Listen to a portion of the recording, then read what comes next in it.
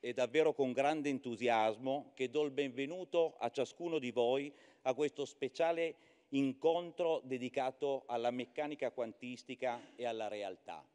Sono Marco Cavaglià, presidente di QPP Seralmente e ricercatore qui al Politecnico di Torino. Iniziamo questa serata ringraziando i nostri ospiti d'onore, i professori Federico Laudisa e Angelo Bassi. La loro presenza qui oggi è un tributo alla ricerca e all'innovazione, che sono i temi che rappresentano il cuore pulsante di QPP Seralmente. Desidero esprimere la mia profonda gratitudine a tutti voi qui presenti. La vostra partecipazione e interesse sono la forza motrice che ci spinge a organizzare questi incontri. Grazie alla vostra accoglienza siamo cresciuti fino a superare i mille partecipanti negli ultimi eventi e in questo, una testimonianza tangibile dell'importanza della divulgazione della cultura scientifica. Un ringraziamento speciale va al Politecnico di Torino, che ci ha offerto il partenariato gratuito e che ha permesso di usare queste straordinarie strutture. La loro generosità, il loro sostegno sono fondamentali per l'organizzazione e il successo di queste iniziative. Vorrei anche ringraziare la direzione di Biennale della Tecnologia, con cui abbiamo stabilito un prezioso, una preziosa collaborazione. Questa partnership ci permette di espandere ulteriormente il nostro impatto e di portare avanti la nostra missione di divulgazione scientifica. Voglio inoltre esprimere il nostro ringraziamento e la nostra gratitudine alla Fondazione Venesio e Banca del Piemonte. La loro generosa donazione è essenziale per il nostro lavoro e ci aiuta a mantenere questi eventi gratuiti per il nostro pubblico. Prima di iniziare voglio ora cedere la parola al curatore scientifico di Biennale Tecnologia, professor Juan Carlo De Martin, e successivamente al dottor Camillo Venesio, amministratore delegato e direttore generale della Banca del Piemonte, per un breve saluto a tutti voi. Grazie ancora per essere qui con noi questa sera e spero che troverete l'evento informativo, stimolante e arricchente.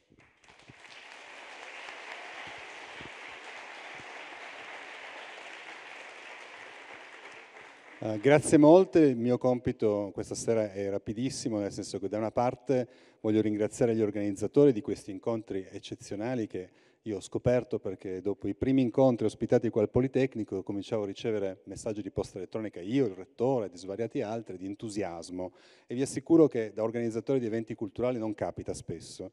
Quindi a un certo punto, dopo un certo numero di messaggi di posta elettronica, ho voluto conoscere i colleghi che organizzavano questi incontri per capire cosa, sta, cosa stesse succedendo. Quindi gran, grande gratitudine per l'organizzazione di questi incontri che con grandissima felicità ospitiamo qua al Politecnico perché è parte della missione dell'Ateneo, quella di promuovere la cultura, di divulgare la conoscenza, di permettere occasioni di confronto di questo tipo, quindi grazie molte per questa organizzazione. La seconda cosa è dire semplicemente due parole su Biennale Tecnologia. Questo è un incontro che abbiamo insieme deciso di etichettare come Aspettando Biennale Tecnologia 2024.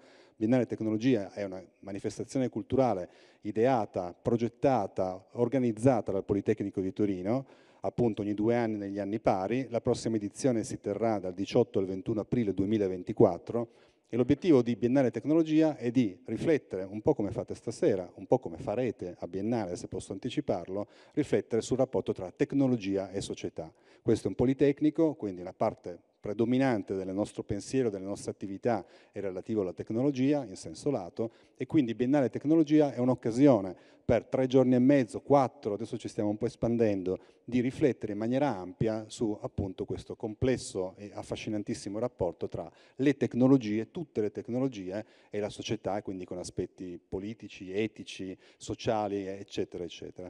Quindi questo incontro molto degnamente prepara il terreno per tra pochi mesi quando avremo finalmente l'edizione 2024. Quindi benvenuti e grazie ancora passo la parola al dottor Venesio. Grazie.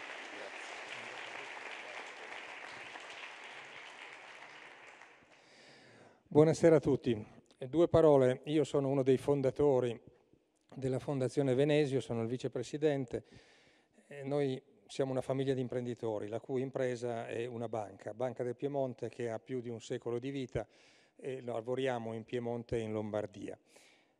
la fondazione l'abbiamo fatta per sostenere il territorio, in particolare su alcuni campi, naturalmente l'assistenza sociale, la ricerca scientifica e medica, a cui io tengo personalmente molto, l'istruzione e la formazione. Questi sono i principali campi su cui stiamo lavorando. Noi crediamo molto nell'istruzione, nella formazione, nella ricerca e lo viviamo sulla nostra pelle di, di persone, di, di, persone che credono nell'Italia, che credono nel Piemonte, che credono in Torino.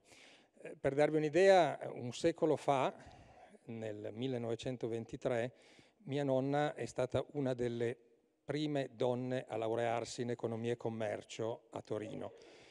E questa è una cosa che ci ha sempre resi orgogliosi, però è importante, è importante ed è una delle ragioni per cui noi sosteniamo questo tipo di incontri serali, serali, avvicinare il grande pubblico alla ricerca scientifica avanzata, perché c'è bisogno che ci sia sempre più a Torino, in Piemonte, in Italia, la consapevolezza di quanto sia importante la ricerca scientifica, quanto sia importante che la nostra nazione stia tra le prime in campo di ricerca scientifica, tecnologica, perché da questo poi discende un sacco di investimenti che fanno le imprese e quindi la crescita, la crescita economica di ogni nazione del, del mondo. Come dico, l'ho vissuto sulla, sulla, mia pelle, sulla nostra pelle. I miei figli si sono laureati in Italia, mio figlio si è laureato in Italia in economia, poi si è preso una laurea a, New York University in matematica e poi fortunatamente è rientrato in Italia, ora è il capo della direzione Data e Information di, di Banca del Piemonte e con lui c'è un team in larga prevalenza di giovani, alcuni e alcune delle quali si sono laureate in questo Politecnico, che danno un grande supporto al cambiamento, all'innovazione, alla crescita di Banca del Piemonte in un mercato molto competitivo. Mia figlia, anche lei, si è laureata in Italia e poi a London School of Economics, ha lavorato in banche internazionali e poi ha lavorato per un certo periodo in Banca del Piemonte. Poi ha sposato un fisico, un fisico, un, un ragazzo molto in gamba, che fa eh, insegna e fa ricerca nel quantum computing, quindi una cosa che c'entra abbastanza con quanto ci racconteranno i professori questa sera. Purtroppo, purtroppo da padre lo dico, lavora e insegna e fa ricerca a Houston, Texas, in una grande università texana, Rice University. È chiaro che eh, loro vorrebbero tornare, io spero che ritornino. Ci devono essere le condizioni, non dico solo in Italia, in, ma in Europa, perché in questi campi di ricerca avanzata ci sono certe zone nel mondo come gli Stati Uniti, ma non solo gli Stati Uniti, anche la Cina, investono veramente tantissimo. Quindi noi crediamo profondamente in questo tipo di iniziative, ripeto, di divulgazione, per, di avvicinamento del grande pubblico alla ricerca scientifica, che si comprenda quanto è importante e che serva perché a tutti i livelli a Torino, in Piemonte, in Italia, vi sia consapevolezza che il futuro è nelle nostre mani, abbiamo una storia meravigliosa nel passato, ma dobbiamo continuare a innovare, investire, crescere, cercare cose nuove per essere all'onore del mondo come siamo stati tanto tempo nella nostra lunga storia, veramente tra le migliori nazioni del mondo. Buona serata a tutti e grazie.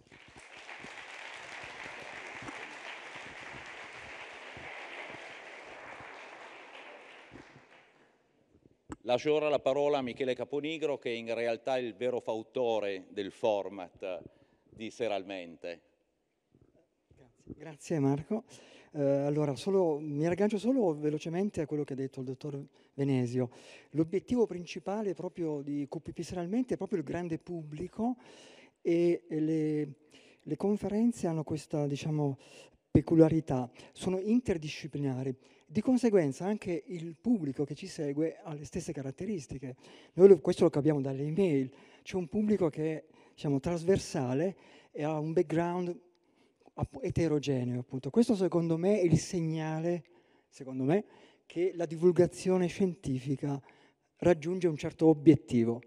perché, eh, ne parlavo prima anche con colleghi, se uno fa una conferenza di biologia e vengono solo i biologi, secondo me quello è importante, ma non è la divulgazione che noi abbiamo in mente, perché deve essere in questo modo trasversale. Questo è il punto per me chiave della questione.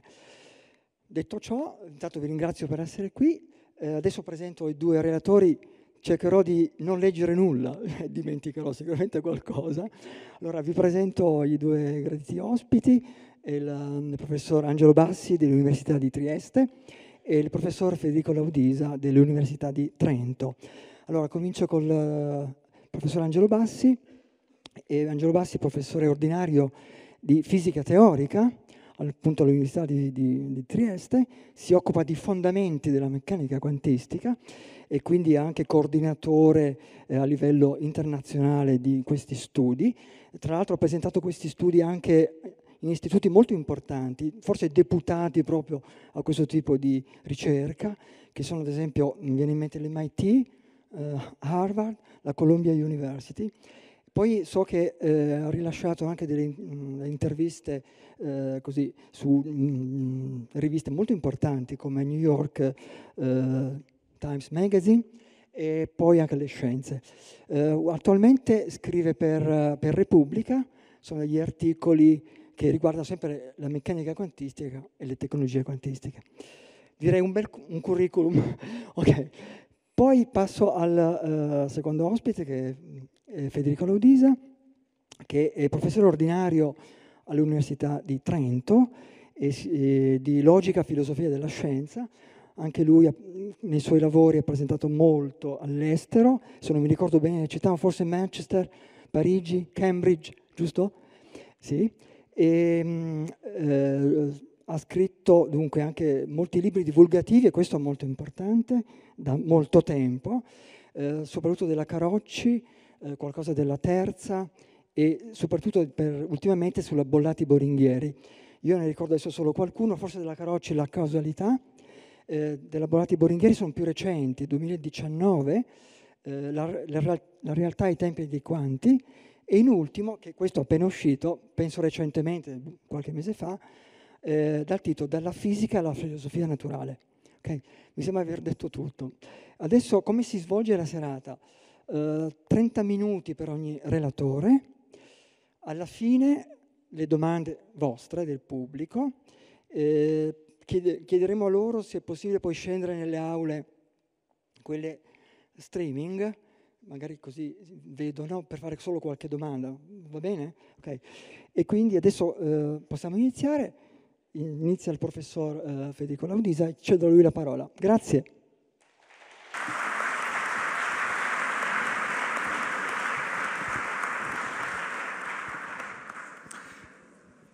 Allora, eh, prima di tutto i miei ringraziamenti agli organizzatori, eh, al Politecnico, sono molto felice e anche onorato di, di, essere qui e grazie a tutti voi eh, per essere qui, essere usciti di casa la sera con la pioggia e venire a sentire eh, parlare di meccanica quantistica. Allora, eh, due parole eh, per diciamo, permettervi di, di eh, così, valutare insomma, quello che io eh, vorrei dirvi. Eh, io mi occupo di filosofia della scienza e mi sono diciamo, occupato in, per quasi tutto il tempo insomma, che ho dedicato alla ricerca a questioni di eh, appunto, filosofia e fondamenti della fisica quantistica. Quindi eh, diciamo, mi sono proposto di, di dare eh, qualche cosa, spunto di riflessione, di eh, elementi di introduzione eh, a questi temi, soprattutto mh, sia in generale sia diciamo, per le mie competenze, eh, con appunto l'obiettivo di eh, mettere in luce quanto eh, grande sia lo stimolo che questo, questa teoria e tutto ciò che gira intorno abbia prodotto eh, sulla riflessione filosofica, eh, però anche di suggerire l'idea che questa interazione tra eh, la, la, fisica, eh, la scienza in generale, ma insomma oggi parliamo di fisica, e la filosofia non sia certo una novità che eh, è arrivata sulla, sulla scena con la meccanica quantistica solo perché la meccanica quantistica è un po' strana, allora i filosofi che sono un po' strani anche loro si occupano di meccanica quantistica. Eh, quindi diciamo di, di, di, trasmettere alcune così grandi lezioni di, culturali che vengono da una considerazione in prospettiva della storia della cultura filosofica e, e scientifica. E, e, appunto, e, poi alla fine naturalmente eh, porre l'attenzione su quelli che mh, insomma, con, su un grande consenso insomma, sono considerati i fattori più importanti eh, diciamo di tensione fra eh, una certa così, immagine del mondo eh, ragionevole che ci siamo così costruiti nel, nel tempo e invece ehm, appunto diciamo, indicazioni che sembrano venire dalla teoria in direzione completamente opposta. Quindi quali, quindi, quali sono questi motivi principali e perché eh, quindi mh, diciamo, altre comunità, altri intelletti sono stimolati e coinvolti dentro questa teoria e non solo quelli, le persone che ci, si occupano eh, professionalmente insomma, della teoria. Quindi io vorrei partire da questa domanda molto generale eh, perché la filosofia si interessa alla fisica e mm, perché la fisica eh, ha delle implicazioni sul pensiero eh, filosofico. Eh, intanto un, un'osservazione mm, che insomma, mi, mi, capita di fare molto spesso in situazioni del genere è un'osservazione molto semplice, molto di base, che però nonostante la sua semplicità eh, è estremamente importante per mh, qualificare tante cose che stanno dentro questa, questa area di interesse, cioè che eh, in realtà sulla scala temporale dell'evoluzione culturale umana eh, scienza e filosofia sono due ambiti separati da poco tempo, molto poco tempo. Eh, quindi Mm, intanto questo comporta che non sia un caso che eh, interessi che oggi noi qualifichiamo come filosofici e che qualifichiamo come scientifici eh, si trovino a interagire in modo importante, perché questo è quello che sostanzialmente hanno sempre fatto quando non c'era una distinzione di diritto tra indagine scientifica tra virgolette, e indagine filosofica. Questa è una diciamo, semplice lezione di storia della cultura che però ha, ha un, un, grande valore da questo punto di vista. È vero che eh, a partire da questo eh, diciamo, evento, chiamiamolo per semplicità evento, cioè la rivoluzione scientifica, i, destini di due, eh, queste due letture del mondo si sono diciamo, definiti, si sono mh, differenziati in modo decisamente importante, eh, anche mh, professionalmente, disciplinarmente, insomma i linguaggi sono molto cambiati e così via, quindi in questo senso eh, il problema della relazione tra la, la, la, la, scienza, nel nostro caso la fisica e la filosofia, è diventato più eh, spinoso, più mh, complesso.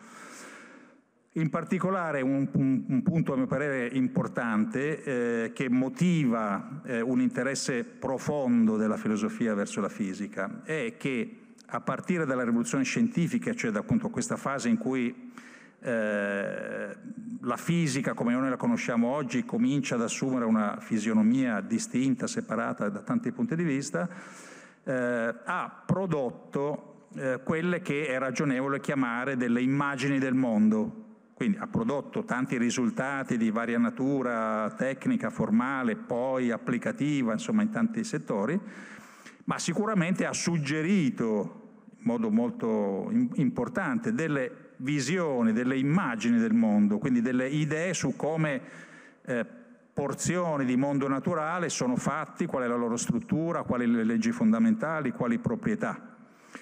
Ecco, eh, da questo punto di vista, per, per, loro, eh, diciamo, per, il loro bagaglio, i filosofi in generale, io non parlo solo di filosofia della scienza, insomma i filosofi, anche quelli coinvolti nella nascita della rivoluzione scientifica, sono stati naturalmente interessati a questioni relative all'immagine del mondo. No? Quindi questa immagine del mondo che via via la scienza proponeva e che risultavano diciamo, progressivamente sempre più ardue da comprendere dal senso comune, hanno cominciato a porre eh, questioni che i filosofi non potevano evitare di eh, affrontare. Mm? Quindi questo è un punto, a mio parere, estremamente eh, importante.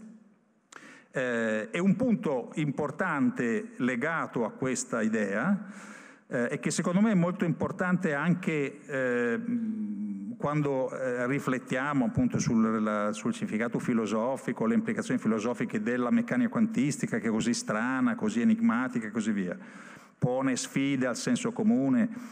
Eh, un'altra lezione diciamo, di storia della cultura è che questa sfida al senso comune nasce con la scienza stessa, non abbiamo dovuto attendere la meccanica quantistica per renderci conto che eh, la scienza, ha, diciamo, migliorando, mh, mm, procedendo, costruiva delle immagini del mondo che erano in tensione con il senso comune.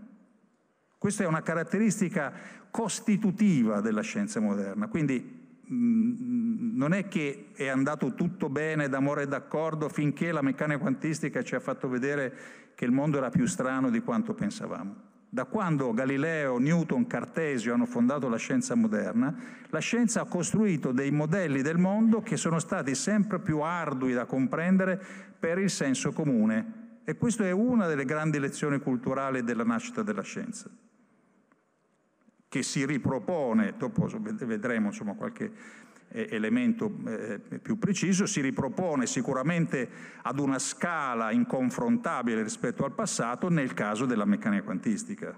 Però è eh, una, diciamo, una dimensione ineliminabile del pensiero scientifico, quello di proporre dei modelli, delle immagini del mondo rispetto alle quali l'immagine diciamo, di senso comune, anche sofisticata, è inevitabilmente in tensione. E eh, a questo proposito diciamo, torna sempre buona eh, qualche citazione eh, galileiana. Eh, questa è una citazione molto famosa, spesso, spesso diciamo, interpretata mh, in modo insomma, non, non eh, sempre soddisfacente. Ehm, qui Galileo parla in terza persona ma sta parlando di se stesso, visto che diciamo, la, la modestia non era una delle doti più spiccate di Galileo, eh, lui dice non posso ammirare l'eminenza dell'ingegno di quelli che con la vivacità dell'intelletto loro hanno fatto forza tale ai propri sensi, che abbiano potuto anteporre quello che è il discorso, che è la teoria, il discorso qui è la teoria, dettava quello che le sensate esperienze gli mostravano apertissimamente in contrario. Quindi questa è una grande lode della capacità, del coraggio della scienza di andare al di là delle sensate esperienze, cioè di ciò che appare a, a un livello intuitivo. No? E questo è, è, è, esattamente quello che la, la scienza moderna ha cominciato a fare da allora, non da adesso, da allora.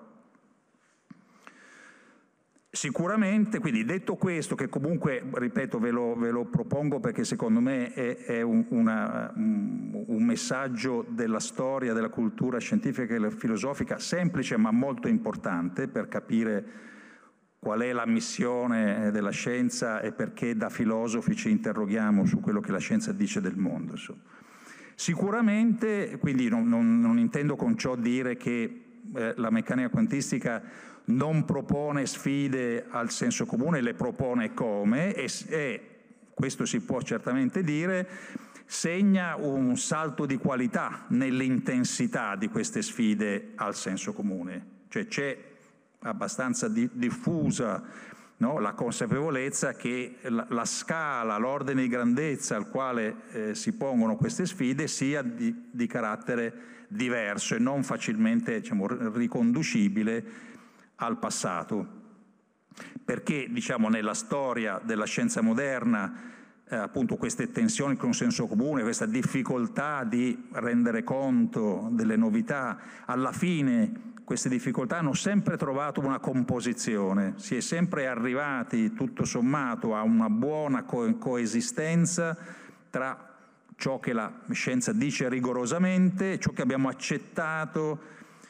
riguardo all'immagine del mondo suggerita da queste teorie. Ecco, questo punto è un punto che nel caso della meccanica quantistica eh, è tuttora, secondo alcuni lo sarà di principio, in una situazione di tensione molto forte. Quindi nella meccanica quantistica questa composizione tra la teoria che si insegna, che si usa, che si sviluppa e l'immagine del mondo che noi speriamo di trarre da questa eh, teoria, appunto in questa attitudine filosofica, questo rapporto è un rapporto molto controverso, di, di forte tensione, con dei caratteri appunto irriducibili al passato, al punto da, diciamo, da indurre alcuni che, che, partecipano a questo dibattito, sia diciamo, di parte scientifica, parte fisica, di parte filosofica, a pensare che questa composizione forse potrebbe non essere raggiungibile per motivi proprio interni a, a, a, a questa,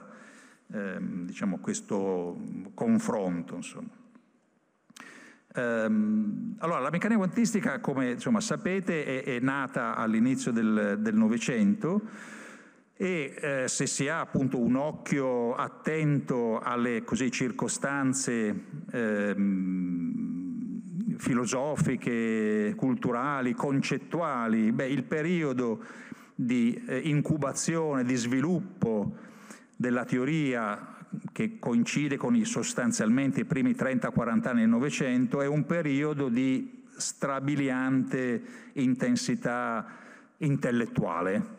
Lo è anche praticamente in ogni campo della cultura europea, ma sicuramente nella scienza e nella fisica questo si verifica in un modo eclatante e eh, con, con, appunto la, la, la, la conseguenza di dar vita a un periodo estremamente intenso al quale partecipano alcuni elementi più importanti del periodo, appunto, in cui eh, eh, la, la, componente di eh, sviluppo, consolidamento, stret, consolidamento strettamente tecnico della teoria si accompagna a un fervore di discussioni sul significato di ciò che si andava costruendo, che probabilmente non ha uguali nella storia della fisica, né precedente né successiva. Quindi è un periodo di enorme interesse dal punto di vista del, dei processi di elaborazione eh, della teoria e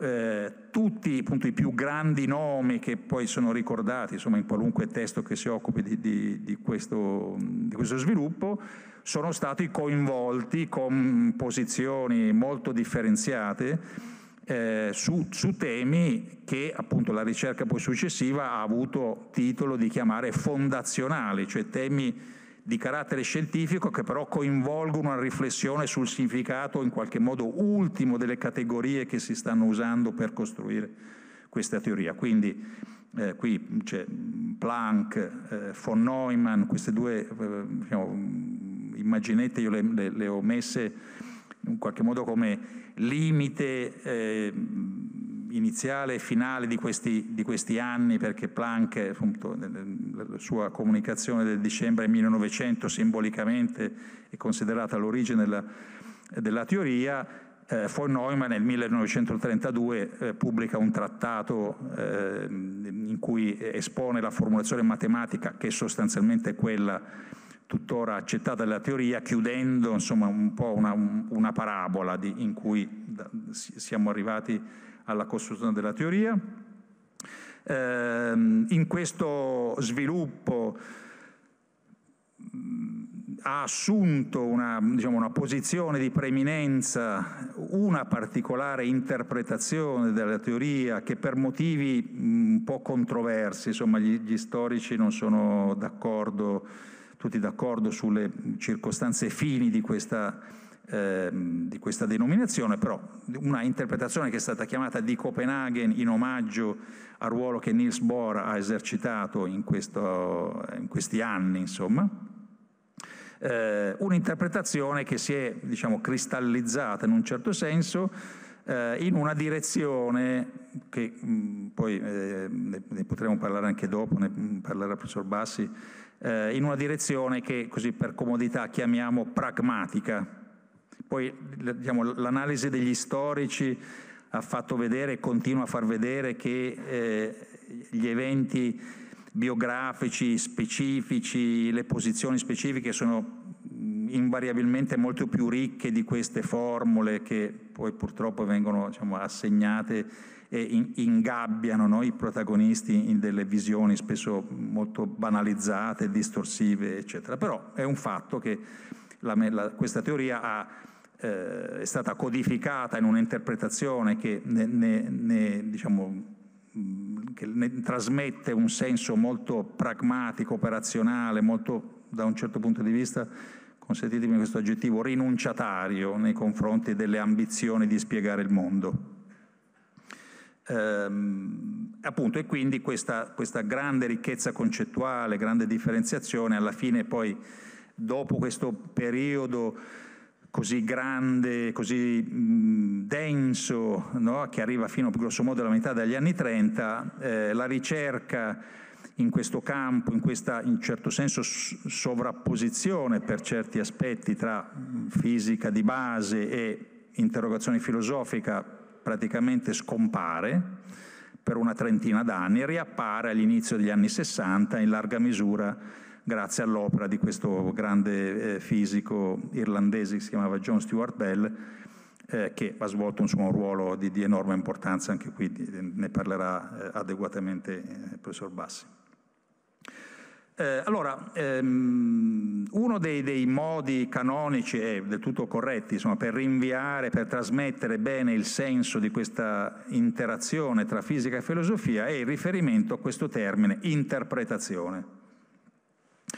Eh, questo termine gioca un ruolo peculiare nel caso della meccanica quantistica, nel senso che ehm, è legato a una circostanza ehm, innegabile e operante, eh, che però è una circostanza molto ehm, enigmatica, molto difficile, molto impegnativa e anche probabilmente unica nello sviluppo della scienza, cioè nel caso della meccanica quantistica c'è una divergenza drammatica tra l'efficacia ehm, predittiva, applicativa, sperimentale, operativa della teoria che è straordinaria, probabilmente ai livelli più alti nella storia della fisica, da un lato, e il, eh, diciamo, il, eh, il, dissenso molto largo eh, su come questa teoria debba essere interpretata.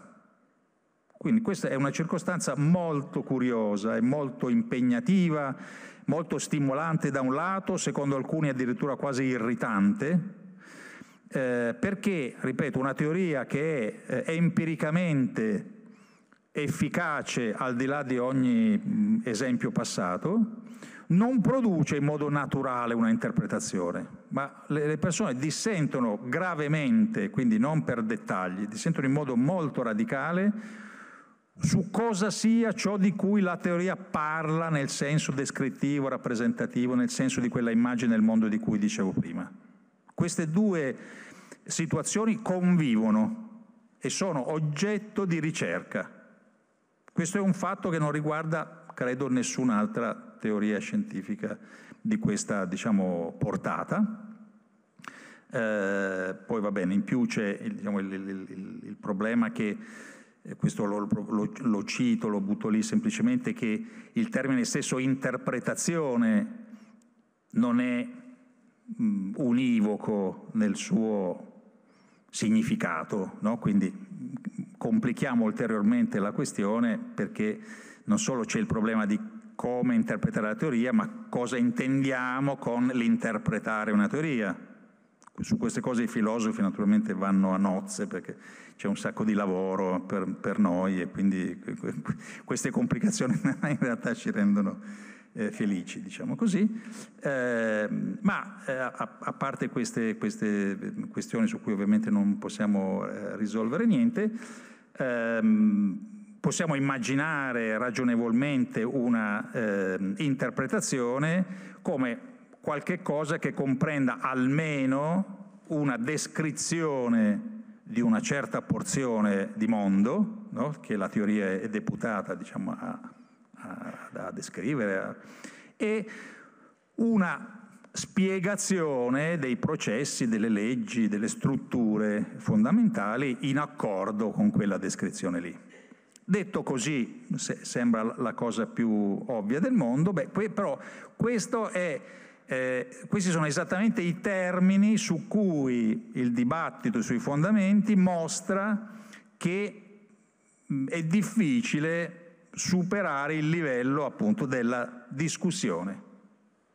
Perché eh, non si è d'accordo su cosa si intenda per descrizione, su cosa si intenda per spiegazione, per caratteristiche peculiari di questa teoria, di cui insomma, dirò qualcosa di lievemente, lievemente più eh, preciso mm, tra, tra, poco, insomma, nella parte finale.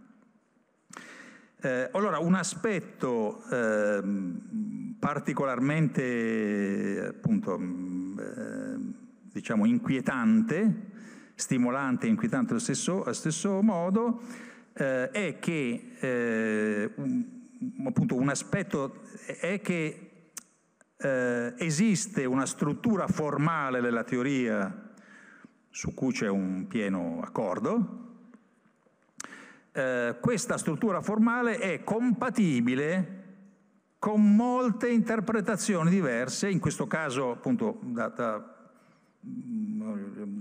data la, la mia deformazione professionale, l'ho, messa un po' in termini così per, per fare, fare, effetto, ma in realtà sono i termini della discussione.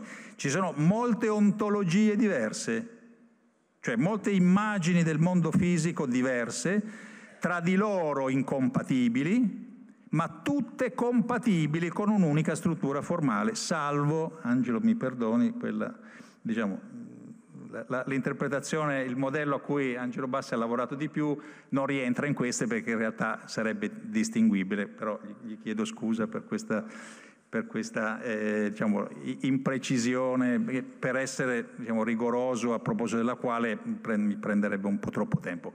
Eh, però diciamo, rimane il fatto che con questa molto significativa eccezione eh, queste ontologie, diciamo così, queste immagini del mondo, queste interpretazioni sono tra di loro eh, irriducibili, ma tutte, entro certi limiti, empiricamente equivalenti e compatibili con un'unica struttura della teoria.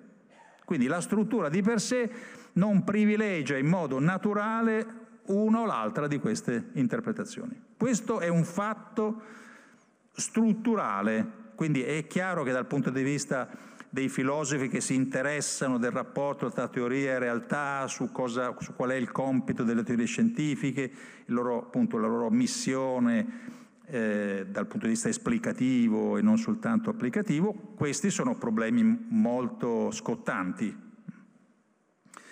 Um, allora, naturalmente diciamo, no, non mancano. Periodicamente, questo è un esempio neanche troppo recente, ma ogni tanto appunto, periodicamente ci sono eh, questi, questi, esempi, ci, ci, sono sempre personaggi, normalmente della comunità fisica, che dicono che questi non, non sono affatto problemi reali, eh, che la teoria funziona benissimo, che non c'è nessun bisogno di, di interpretazione eh, con ciò stesso diciamo, dando un'interpretazione eh, della, della, teoria, cioè dicendo teoria, l'interpretazione pragmatica va, va, benissimo, queste sono tutte chiacchiere che non cambiano lo, lo stato della conoscenza fisica. Eh, diciamo, questa è una tra le posizioni, mm, andava, eh, era abbastanza popolare fino a non tanto tempo fa, però ecco, c'è da dire che eh, posizioni di questo tipo sono eh, almeno nel campo in cui si ritiene interessante discutere di queste cose, eh, sono un po' meno popolari di una volta perché ehm, un, diciamo, un aspetto anche se volete di sociologia della fisica contemporanea ehm, è che discussioni di tipo fondazionale si sono dimostrate, si dimostrano in realtà ricche di, di spunti anche per la ricerca scientifica stessa. Quindi l'attitudine è un pochino cambiata nei confronti di queste, questi discorsi che alcuni hanno considerato interessanti da sempre, però anche la comunità scientifica, magari parte della quale, o larga parte della quale, scettica verso queste cose, ha, credo di poter dire, un po' modificato il suo eh, atteggiamento anche alla luce del fatto che ci sono eh, settori della ricerca fisica come si usava a dire in modo così un po' forte, di frontiera, eh, nelle quali ci si rende conto che ehm, diciamo, porsi problemi di natura fondazionale non solo è importante, ma a volte è l'unica cosa veramente importante da fare. Quindi questo tipo di, di ragionamenti, di categorie, di strumentazione concettuale torna utile. Ecco, quindi da questo punto di vista la situazione forse è un pochino cambiata, non so uh, Angelo Bassi cosa ne pensi a proposito, ma ne possiamo parlare. Allora, eh, vado, mi avvio alla conclusione ehm, sottoponendo a vostra attenzione eh, quattro punti diciamo, in, in, cui c'è un ampio diciamo, consenso eh, sul fatto che siano elementi di eh, tensione fra la teoria e un certo modo intuitivo di considerare insomma, il mondo naturale. Allora, faccio una, una um, osservazione, come, dire, come, si dice, un disclaimer su, su quello che sto per dire. Eh, la, il modo in cui io vi presenterò molto sinteticamente questi punti è, è ehm, come dire, si mh, mm, riferisce, quindi sta sullo sfondo eh, di, di, di, questa interpretazione standard della teoria.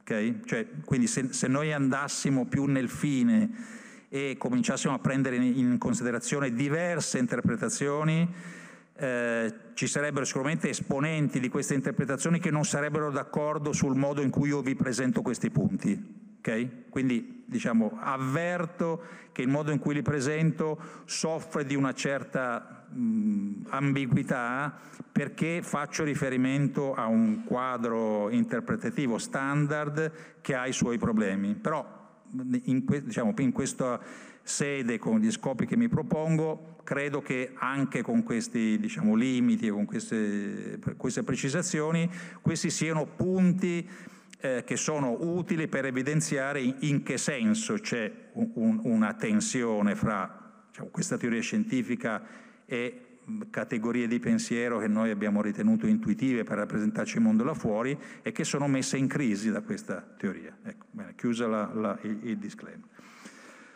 Allora, una prima nozione ehm, è quella che diciamo, riguarda una, ehm, una, condizione che potremmo chiamare di eh, oggettività, hm?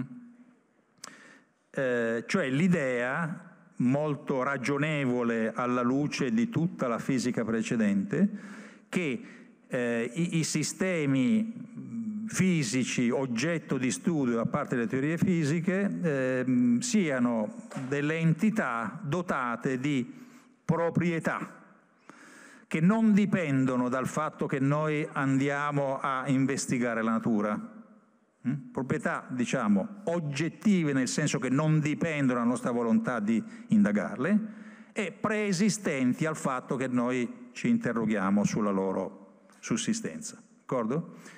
Ecco, questa idea che è del tutto pacifica rispetto a, alla, diciamo, alla fi, tutta la fisica pre-quantistica, eh, non è a proprio agio con la meccanica quantistica. Cioè la meccanica quantistica non consente di usare questo linguaggio di attribuzione di proprietà a, ai sistemi che studia. Quindi da questo punto di vista, se vogliamo usare questo termine vago, mi rendo conto, oggettività, che può voler dire tutto e niente, però in questi termini insomma, strumentali in cui lo sto usando, beh, la meccanica quantistica da questo punto di vista è in un rapporto di tensione con questa intuizione di oggettività. Quindi primo punto non, non, non banale. Secondo punto riguarda la nozione di osservazione.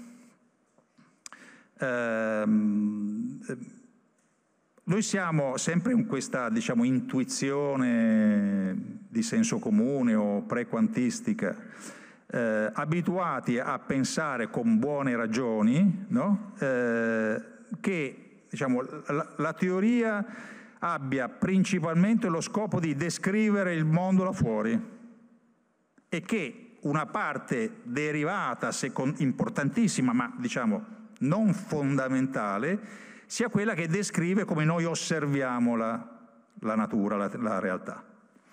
Ecco, nel caso della meccanica quantistica il ruolo che la nozione di osservazione assume è invece un ruolo primario, al punto, questo eh, diciamo, ve lo presento in modo eh, dire, esplicitamente un po' eh, dire, provocatorio se volete, al punto da indurre alcune versioni insomma, radicali eh, a, a Mm, così, intrattenere l'idea che in un certo senso, anche se magari analogicamente, l'osservazione contribuisca addirittura a creare le proprietà che io poi attribuisco ai sistemi che studio. Questo è, ripeto, quindi è legato al ruolo completamente diverso che ha la nozione di osservazione dentro la teoria. La meccanica quantistica, nella sua versione standard, sembra una teoria quasi esclusivamente deputata a descrivere l'osservazione. Cosa poi ci sia al di fuori o prima o indipendente dall'osservazione pare che non sia compito della teoria. Questo è anche estremamente anomalo rispetto a una tradizione diciamo, di storia della scienza e della fisica. Poi la, eh, la nozione di, eh, lo statuto diciamo, eh, dell'idea di probabilità che è una nozione che come noto non è stata certo introdotta dalla fisica quantistica per la prima volta nella, nella scienza, eh, ma assume sempre sotto l'ipotesi di questa formulazione usuale, assume diciamo, un carattere in qualche modo di condizione intrinseca del mondo descritto dalla teoria. Quindi Mm, la probabilità quantistica è una probabilità che descrive, qualche volta si dice, una forma intrinseca di aleatorietà, quindi mm, in una in direzione che anche qui eh, ha determinato insomma, una serie di, di, di dire, inquietudini filosofiche insomma, sul ruolo di questa, eh, questo carattere diciamo, intrinseco della probabilità. Eh, e infine la questione di cui parlerà con tutt'altra mm, accuratezza Angelo Bassi, eh, la nozione di entanglement e connessa a questo eh, questa mh, mm, importante, fondamentale condizione di eh, non località che la teoria quantistica insomma, suggerisce, di cui suggerisce eh, l'esistenza. Ehm, questa idea di entanglement sostanzialmente, ora sarò ehm, drammaticamente impreciso, perché, eh, mi, mi, scuso in anticipo, molto vago, ehm, quindi appunto fortunatamente c'è il fisico teorico che mette le cose a posto, ehm, però dal punto di vista di questa famosa immagine del mondo, dei, dei, dei nostri tentativi filosofici di comprendere queste cose, eh, è una eh, circostanza che ha a che fare con un modo molto peculiare che ha la teoria di descrivere l'interazione tra sistemi fisici. Eh, nel senso che mh, ci sono situazioni in cui in questa interazione si introduce, chiamiamola una forma di dipendenza tra sistemi fisici eh, che ha delle proprietà che nessun'altra teoria non quantistica ha mai diciamo, mm, messo in luce. E eh, in certe situazioni questo, mh, diciamo, mh, questa condizione di dipendenza porta a eh, rivelare che questa dipendenza sopravvive, tra virgolette, anche tra sistemi che sono molto lontani tra di loro, per cui, appunto, da cui la, la condizione di non località e da cui gli sforzi di eh, comprendere la, la, natura di questa condizione, il tentativo di diciamo, integrarla eh, nella teoria, di darne una, appunto una, una eh, sistemazione in termini eh, esplicativi e descrittivi, insomma, ragionevoli. Ultimissima cosa, diciamo, mi, mi, mi, fa molto piacere fare questo riferimento perché è, è, uno dei campi, anzi il campo in cui il professor Bassi ha, ha lavorato molto, insomma, ha dato contributi estremamente importanti. Eh, il problema, eh, qualche volta insomma, esposto in questa forma, eh, della universalità della teoria, cioè se mh, si debba accettare che eh, che questa teoria sia una teoria fondamentale in, un senso serio dell'aggettivo fondamentale e di conseguenza se si debba accettare che qualunque possibile sistema fisico, oggetto, processo a quella scala lì sia soggetto alle leggi di questa teoria, il che diciamo, comporta eh, una serie di questioni fondazionali molto importanti, di problemi fondazionali imp importanti, ehm, il più serio dei quali lo, lo, lo butto là eh, perché non, non, posso fare diverso, è il cosiddetto problema della misura in meccanica quantistica. Questo problema misura che è, è, ha, ehm, diciamo, eh, determinato una grande quantità di studi importantissimi di carattere fondazionale, eh, dipende in modo diretto da da questo problema, cioè se la, la teoria debba essere considerata una teoria universale, quindi che si applica sia ai sistemi studiati sia a, agli strumenti che studiano i sistemi, oppure no. Questo è un grande problema di principio eh, e si prendono strade diverse a seconda di come lo si vuole eh, affrontare. Grazie mille.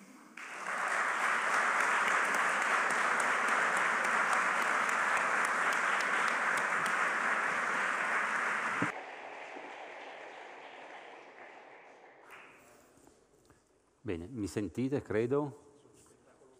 Adesso ok, chiedo. Allora già devo...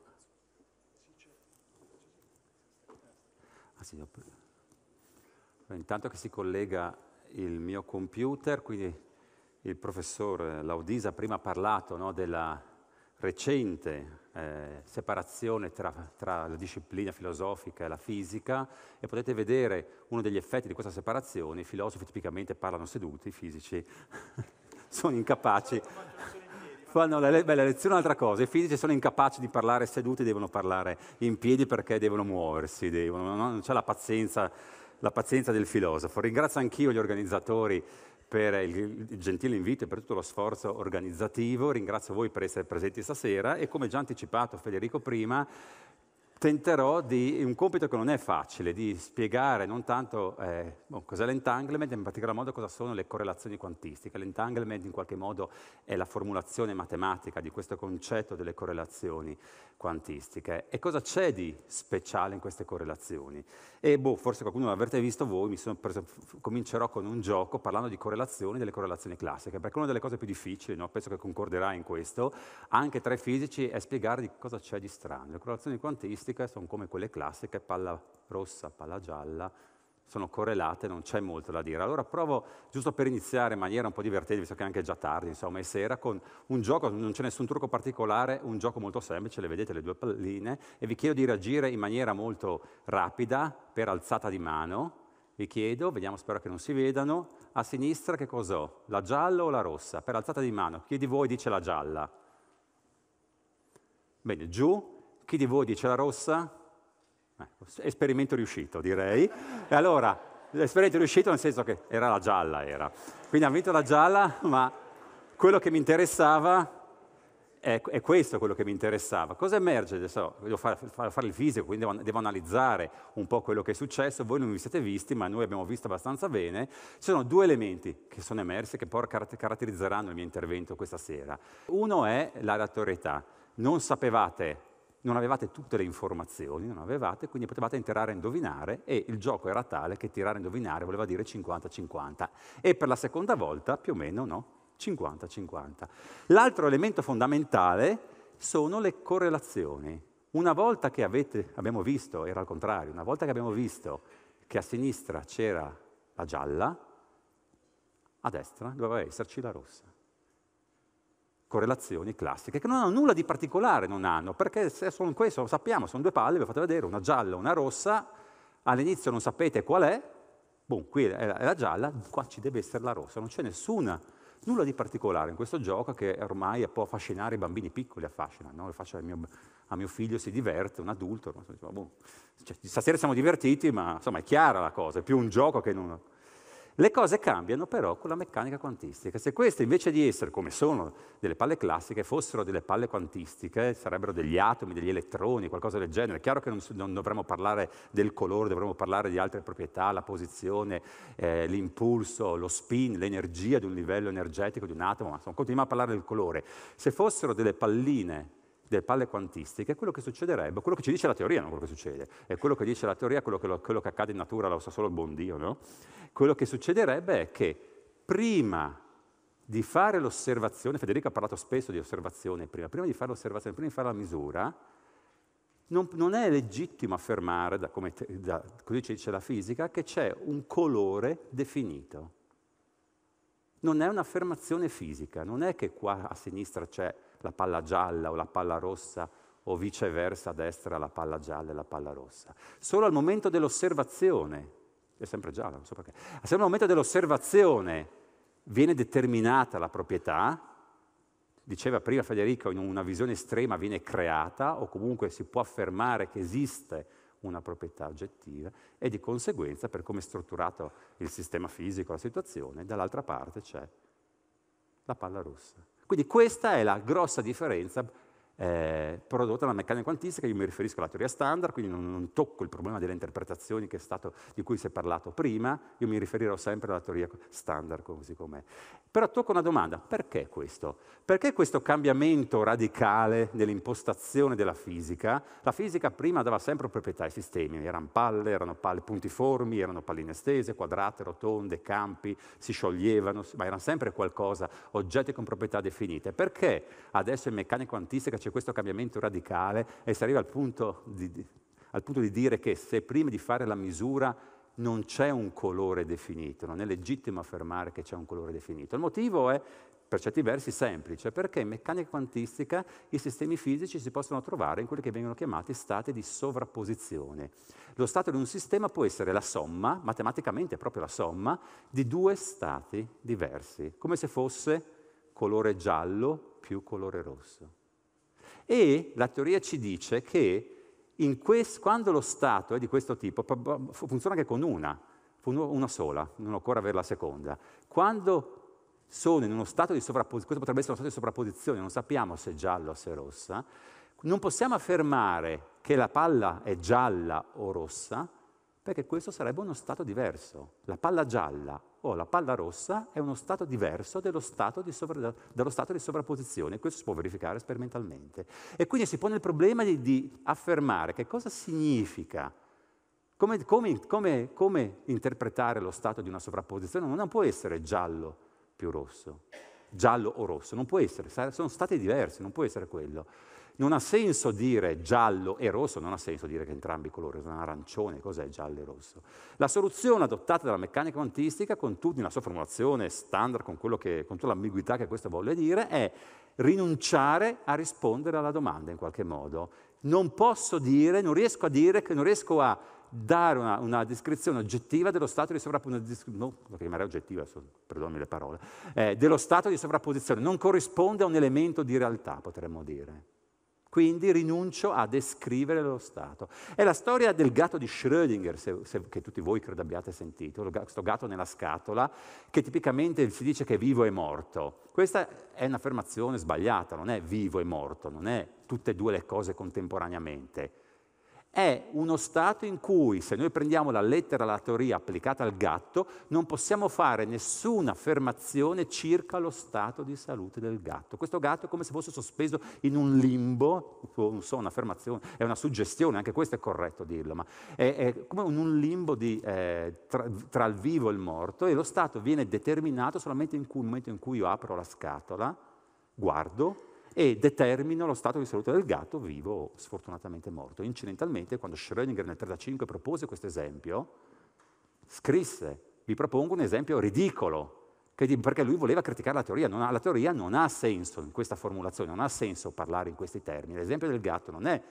per supportare la teoria, ma per cercare di demolire la teoria o l'interpretazione che si dava alla teoria. Però questa è un'altra questione. Questa. Quindi, queste, quindi, queste, quindi questo è quello che ci dice la meccanica quantistica. Quando gli oggetti sono quando io non guardo, prima di guardare un oggetto, il suo stato non è definito, non c'è giallo e rosso da qualche parte. Dobbiamo rinunciare a pensare che ci siano proprietà definite in situazioni così. Incidentalmente questo sarebbe uno stato entangled, se fosse uno stato quantistico. Io userò poco questo termine, non perché non, perché non lo amo, ma perché poi l'effetto principale è quello delle correlazioni. Arriva Einstein, arriva, il 35 è la data simbolo, ma in realtà siamo ben prima, siamo, che queste critiche cominciano ben prima. Einstein che cosa dice Einstein? Einstein è insoddisfatto dalla teoria. Prima è stato parlato, è parlato, di immagine del mondo. Einstein era insoddisfatto dell'immagine del mondo che offriva o che meglio non offriva la teoria. Questo suo pragmatismo, questo suo operazionalismo estremo per certi versi. Non posso parlare di un oggetto delle sue proprietà, posso solo parlare di quello che succede quando guardo. Einstein non, non era, era insoddisfatto non era d'accordo con questa impostazione della fisica, era insoddisfatto anche da questo indeterminismo di fondo. La meccanica quantistica dice che quando io guardo, adesso lo sapete già cos'è, adesso riprovo, quando io guardo le proprietà vengono create, ogni tanto è rosso anche a sinistra, vengono create ma in maniera del tutto casuale. Non è possibile eh, predeterminare gli esiti degli esperimenti di misura. Era insoddisfatto da questi elementi della teoria la comunità dell'epoca lo ignorava in queste critiche. Dice adesso lo storico, della, il filosofo della scienza, non sono io, quindi io banalizzo un po' la cosa e dico stai, stai perdendo colpi, vecchio mio, fatti da parte che arriva, arri, sta arrivando il nuovo, sta arrivando il nuovo che avanza, le tue sono solo fregnacce di un antico aristotelico. Allora Einstein però fece una cosa intelligente, scemo non era Einstein, fece una cosa intelligente, cercò di porre la questione sul piano della fisica. Cercò. Invece di criticare l'impostazione filosofica per certi versi della meccanica quantistica, la visione del mondo che negava, non che forniva, ma che la meccanica quantistica neva, negava, la portò sul piano della fisica. E Einstein fece la seguente osservazione, ripropongo. Diceva, ok, colleghi, prendiamo, supponiamo che voi stiate, abbiate ragione, che è vero che in natura non possiamo, dobbiamo rinunciare a una descrizione oggettiva dei, delle proprietà dei sistemi microscopici. Non posso dire qua se la palla è gialla o rossa, non è legittimo pensare che la palla abbia proprietà oggettive. Le proprietà emergono solamente quando io faccio la misura, guardo, è rossa. Bene, però succede questa cosa in questi stati particolari. Qui si è automaticamente determinata la proprietà, perché se qui è rossa, lì deve essere gialla. Non c'è ambiguità di sorta, lo dice anche la teoria, lo afferma, e infatti è gialla. Ora io ho le braccia abbastanza lunghe, ma se fossero lunghe parecchi chilometri, cosa succederebbe? Questo sarebbe ancora più evidente, che guardo qui, determino le proprietà anche qua. Prima di fare la misura, non ci sono, l'avete visto, vabbè. non ci sono proprietà definite, guardo qui, determina anche qua. Questo è un effetto non locale. E qual è, e qui dobbiamo apprezzare, qual è la differenza tra il caso classico e il caso quantistico? Questo è uno degli elementi fondamentali. Nel caso classico, delle pallicole, questo delle palline macroscopiche, non c'è nessun effetto non locale. I colori c'erano anche prima, la palla era una gialla, una rossa. È nel momento in cui io guardo, è la mia conoscenza che è cambiata. Cambia qui, cambia anche là. Non è cambiato lo stato de, di queste palle, era sempre giallo e rosso prima e do, durante e dopo. È la mia conoscenza soggettiva che è cambiata, cambia qui, cambia anche là, pace. Ma la dinamica di queste palle qui è una dinamica locale, non succede niente, non succede di particolare. I colori erano anche prima. In meccanica quantistica invece è diverso, si sta parlando dello stato del sistema, è lo stato, non è solo la mia conoscenza, è lo stato che cambia. Misuro, cambio lo stato qui, automaticamente, anche se non misuro, ho cambiato lo stato anche qui. Questo è, la, no, questo è, un effetto non locale, perché non riguarda la mia conoscenza dello stato del sistema, riguarda anche lo stato del sistema. cambia istantaneamente a distanza, qui e là. E quindi Einstein diceva, colleghi miei, il mondo è locale, lo dice la teoria della relatività, l'aveva inventata lui, non poteva contraddirsi, lo dice la teoria della relatività, lo dice. Quindi la vostra, la vostra formulazione della meccanica quantistica è non locale, non va bene, è sbagliata. Qual è la soluzione? La soluzione è che questi colori, queste proprietà, preesistevano alla misura. La palla doveva essere gialla e rossa anche prima, altrimenti ci sarebbe un fenomeno non locale. La teoria, quindi la vostra teoria è incompleta, non è in grado di descrivere tutto. I colori c'erano anche prima. Infatti questo famoso articolo del, del 35, EPR, per chi, conosce, per chi conosce l'acronimo, si intitola Può la descrizione quanto meccanica della realtà considerarsi completa? È posta come domanda, la domanda è retorica perché alla fine l'articolo si conclude con, mentre abbiamo, in questo articolo abbiamo dimostrato che la descrizione meccanica, vado più o meno a memoria, quanto meccanica della realtà è incompleta, rimane da capire come trovare una formulazione che la completi. E questo Einstein non ci è riuscito all'epoca. Quindi è chiaro l'argomento. Einstein introduce un elemento fondamentale, la località. La località è in tensione con la meccanica quantistica. Erano gli anni, questi gli anni 30, anni di successi straordinari della meccanica quantistica nella descrizione della natura, nella descrizione della materia, poi si affacciava la teoria dei campi, la, e quindi il mondo delle particelle elementari, di nuovo sei un vecchio che borbotta, statene buono, non ci interessa. E infatti Einstein è morto nel 1955, dimenticato, per, ricordato per altre cose, ma certamente dimenticato per questo finché arriviamo a Bell, già citato prima, agli anni 60. E qui il gioco cambia, devo arricchire, devo complicare il gioco, devo, per spiegarvi, tenterò di spiegarvi le famose disuguaglianze di Bell. Devo complicare il gioco, quindi adesso non abbiamo, le ho, portate da casa, le ho portate via mio figlio, che non si è manco accorto, non si è. Dobbiamo parlarne, adesso non parleremo più solo di colore, parleremo, per il gioco non lo faccio, sarà solo perché non, non è facile, parleremo anche adesso di altre due proprietà, le forme, quindi non più solo il colore, ma la forma potrebbe essere una palla, potrebbe essere un cubo, mi è, mi è, mi è fuggito.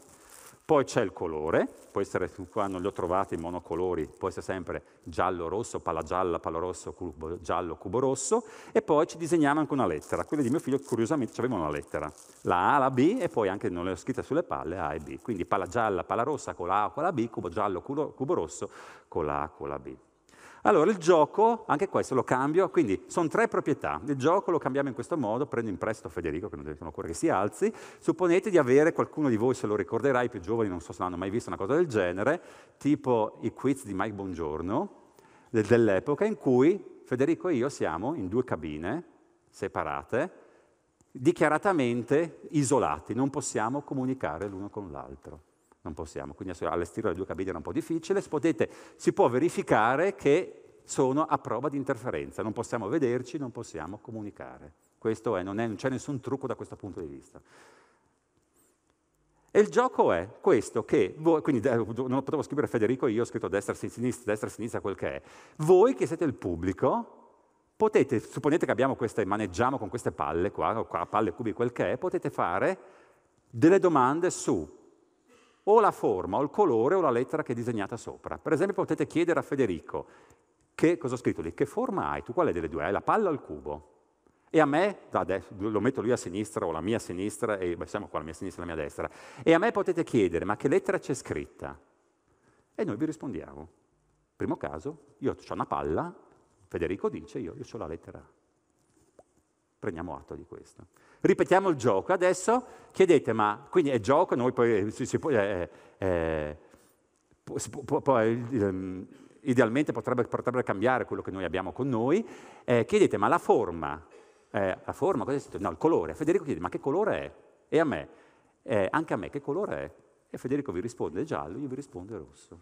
E così via, non faccio tutti i casi possibili. Al terzo caso è colore lettera, e il colore per lui è rosso, per me la lettera B. Vabbè. Sembra una, un casotto, non complicazione rispetto a prima. E tipicamente sembrano risposte date a caso, tranne per una cosa. Tanto. Quindi risposte date a caso, 50% metà delle volte una, una palla, metà delle volte un cubo, metà delle volte giallo, metà delle volte rosso, tutto 50%, tranne per una peculiarità. Se ci pensate, adesso qui è perché il gioco non si vede visivamente, ma noi siamo separati e isolati. Tuttavia, Ogni volta che voi ci ponete una domanda eh, relativa alla stessa proprietà, nel, nel, secondo caso era il colore, nel, lo schermo qua mi balla, non riesco a vedere, nel, nel penultimo caso era la lettera, nell'ultimo caso era la forma, noi rispondiamo in maniera esattamente opposta. Sarà sempre le due risposte diverse. Se uno dice giallo, l'altro dice rosso, se uno dice palla, l'altro dice cubo, se uno dice A, l'altro dice B. Sono le, perfe- sono le correlazioni di prima. Allora, bisogna qua pensarci un attimo. La cosa ha un, po', ha un che di curioso. Com'è possibile che due persone che non possono parlare tra di loro, nei casi indicati, diano risposte che sono perfettamente correlate. Com'è possibile? Se volete drammatizzare la situazione, supponete che spediamo Federico, lo spediamo in Australia, io resto qua o vado anch'io da qualche altra parte. Siete voi che decidete le domande a caso, decidete domande, a un certo punto però decidete di dire, adesso proviamo a coglierli in, eh, eh, in fallo e vediamo se rispondono in maniera sempre discorde. Chiedete a lui in maniera quasi contemporanea, non possiamo, uno non può sentire, uno non può sentire neanche la domanda che viene fatta all'altro, quindi uno non necessariamente sa che anche all'altro sta posta la stessa domanda. Le due cose sono completamente separate. A lui chiedete colore, io non so che lui avete, so che lui avete chiesto del colore, però poi lo chiedete anche a me. Lui dice giallo, io invariabilmente dirò rosso. Ecco, questo spero che concordiate che è un qualcosa di curioso. Sarebbe una forma di, te- di telepatia. Sarebbe come possibile che a distanza, senza sapere niente, senza vedersi, senza parlarsi, senza sapere neanche quello che sta succedendo l'uno rispetto all'altro, invariabilmente in certe situazioni precise noi rispondiamo sempre in maniera perfettamente correlata. Non località, la telepatia è una forma di non località. Rispo- c'è una risposta molto semplice a questo, che era quello che diceva Einstein. Ci siamo messi d'accordo prima. Molto semplice. Prima di iniziare il gioco, un giorno, due giorni prima, ci siamo messi d'accordo su cosa fare. E Federico io cosa abbiamo deciso? Guarda, alla prima domanda tu ti pigli la palla gialla col blu. Io mi piglio quello opposto, il cubo rosso con la lettera B.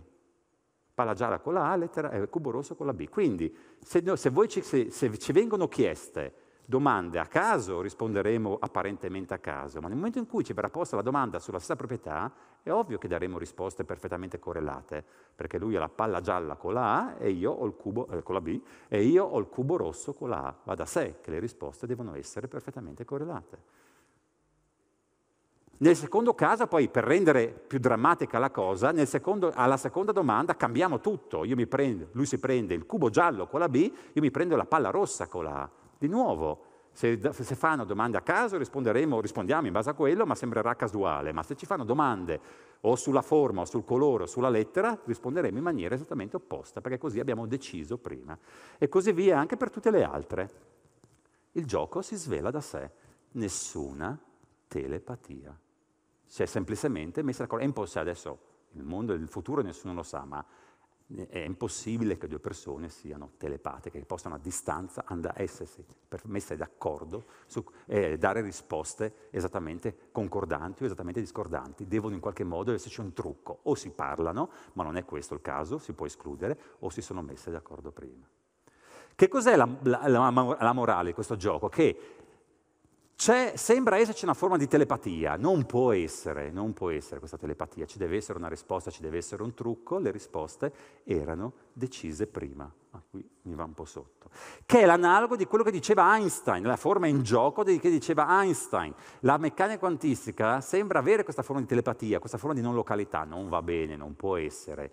Le proprietà devono già esistere prima, questi elementi di realtà sono già esistenti prima la teoria non li contempla perché è una teoria incompleta. Questo siamo nel 1935. Adesso arriva Bell. Arriva Bell e Bell, per ragioni interessanti che non si può qui spiegare, si, si, mise, a, eh, si mise, a, riflettere su questi problemi. E in particolar modo lui, eh, in maniera diversamente da, da, dagli altri prima, eh, non si soffermò solamente di fronte a questo lato stupefacente delle perfette correlazioni quando si parla delle stesse proprietà, ma analizzò tutta la statistica, anche quando venivano chieste domande su proprietà differenti. L'analizzò tutte e in particolar modo, questa è l'unica, perdonatemi, equazione che, che vi presento, lui calcolò la somma di queste probabilità. Le probabilità farle, basta fare l'analisi dei, dei, dei, delle risposte e si vedono le probabilità associate.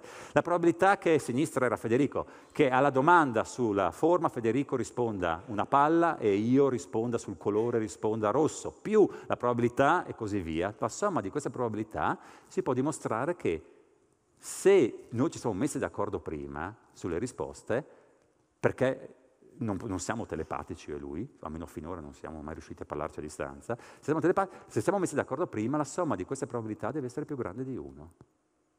Bene, la meccanica quantistica e i sistemi quantistici, vi, questa è una disuguaglianza di Bell, qualcosa più grande di qualcos'altro, una disuguaglianza.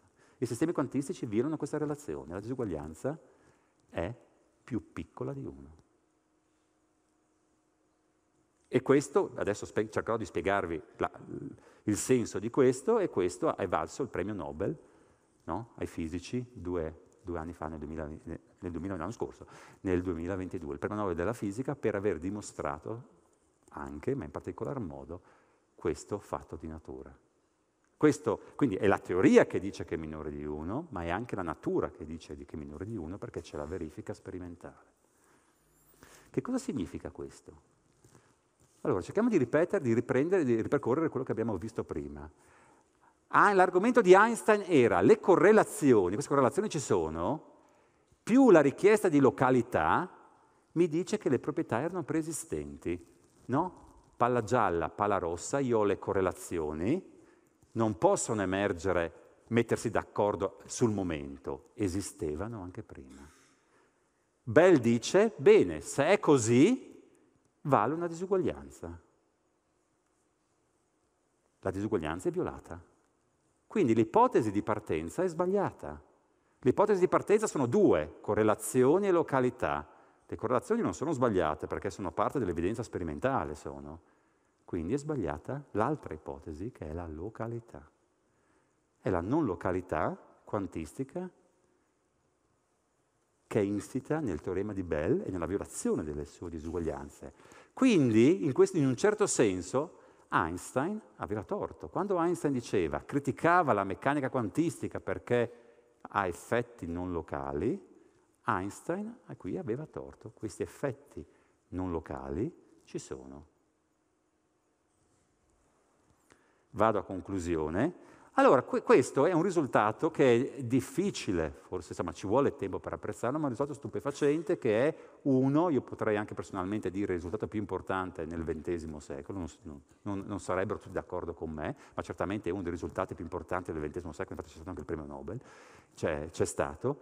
Queste correlazioni quantistiche sono qualcosa di particolare che, eh, che non ha un corrispettivo nella fisica precedente la non località in particolar modo. La non località tecnicamente c'è anche nella fisica classica, c'è la legge, di, la legge di, di, gravitazione universale che si studia a scuola, che quindi immagino che voi tutti conoscete, no? che la forza gravitazionale tra due corpi la, è proporzionale al prodotto delle masse e va con l'inverso del quadrato della distanza, è tecnicamente un'interazione non locale, tecnicamente.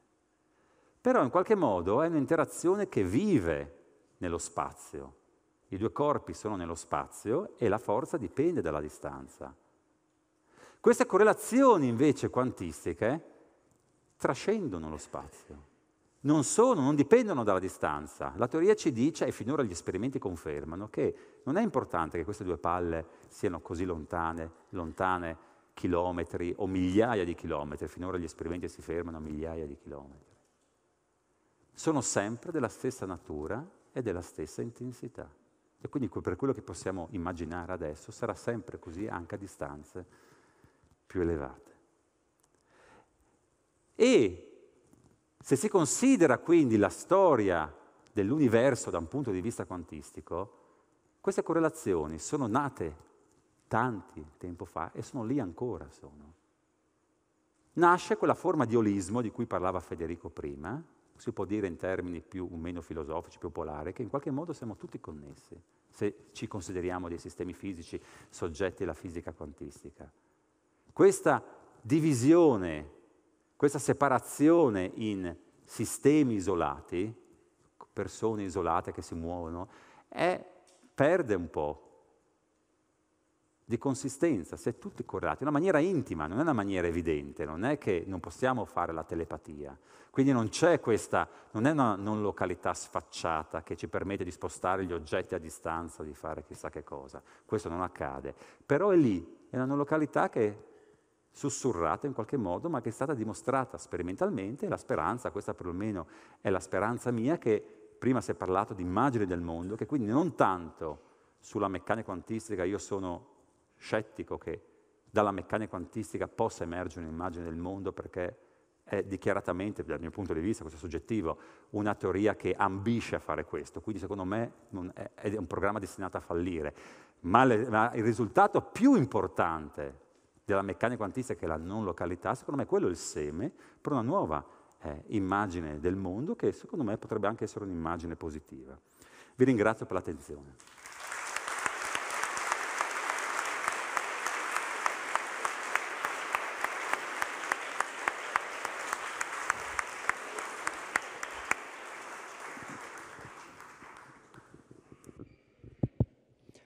Grazie. Eh, adesso possiamo iniziare con la parte delle domande, ok? Eh, poi, mh, se è possibile, andare anche poi uh, nelle aula stream, la numero 3, mi sembra che... Sì, 3. Eh, se vogliamo iniziare da qui con uh, domande brevi, se possibile, se ci sono delle domande.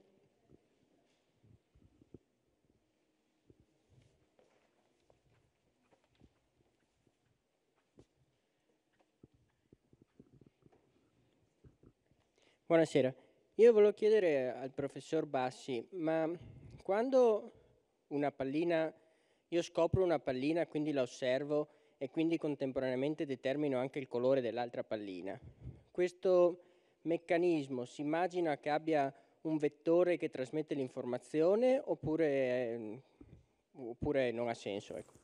No, non c'è un vettore che trasmette l'informazione, non c'è un segnale che viene propagato. È, io parlo dal punto di vista formale, parlo, è un effetto istantaneo di cambio dello, del, eh, dello stato di entrambi i sistemi. Questo è quello che dice la teoria. Chiaramente, di nuovo, la teoria non offre una, una descrizione di quello che succede in termini... Eh, quello che succede perché si può parlare solamente di, de, degli esiti degli esperimenti di misura, non dice cosa succede eh, come sono le proprietà prima degli esperimenti di misura. La teoria semplicemente dice che lo stato cambia istantaneamente da una parte e dall'altra. Que cosa questo significhi a livello di, di proprietà del sistema eh, non è chiaro. Però non c'è una forza, un segnale, un vettore che si propaga.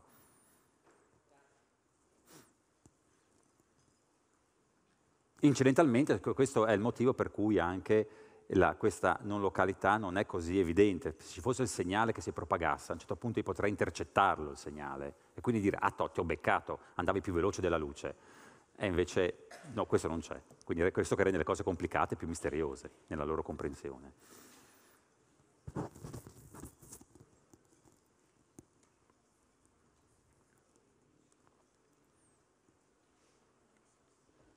Ok, ma quindi questo principio di non località, questo, questo cambio istantaneo di, di, stato delle particelle viola, eh, viola la mh, relatività e quindi saremo destinati a riformulare la relatività o la meccanica quantistica, quindi uno dei due è destinato a cadere.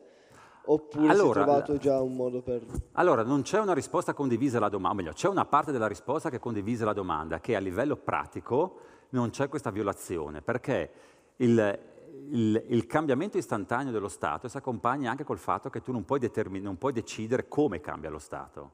Quindi sono le due cose, di, di nuovo le due cose di cui ho parlato. Lo Stato cambia istantaneamente da una parte e dall'altra, però in maniera casuale.